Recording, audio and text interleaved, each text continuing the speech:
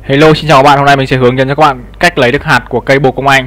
Một cái việc tưởng như dễ mà khó.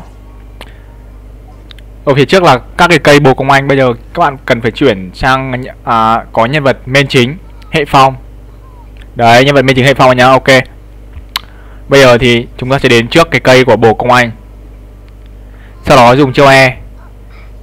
Đấy, thổi bay đi là sẽ rơi ra cái hạt bồ công anh. Vậy là xong các bạn có thể về trả nhiệm vụ được rồi. Một cái việc tưởng như là rất dễ nhưng mà đối với những ai không biết thì nó cũng rất là khó luôn. Ban đầu mình cũng tìm rất mất thời gian. Ok, vậy là là xong. Bạn nào thấy hay cho mình một đừng quên cho mình một like, một đăng ký nhé. Cảm ơn các bạn.